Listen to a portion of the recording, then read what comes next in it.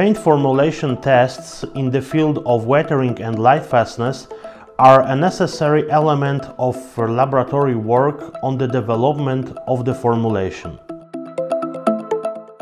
The Spektrochem Research Laboratory is focused on uh, testing the impact of latex paint raw materials on their durability. For this purpose, we conduct tests of various formulations uh, in uh, UV artificial weathering chamber and xenon arc laboratory chamber.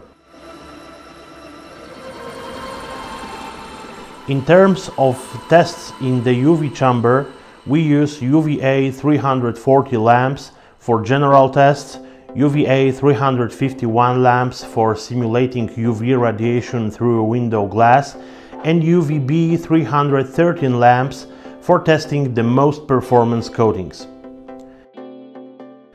In turn, tests in a xenon arc chamber are carried out uh, with uh, the use of various filters that cut off infrared, visible light and specific UV waves.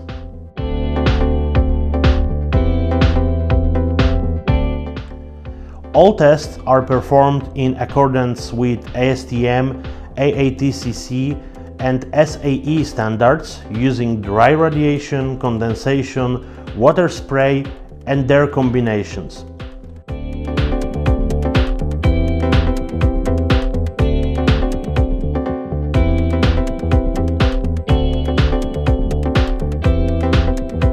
After the exposure in the chambers, we evaluate changes in appearance like color, gloss, blistering, and other properties of coatings like impact resistant, uh, adhesion or hardness.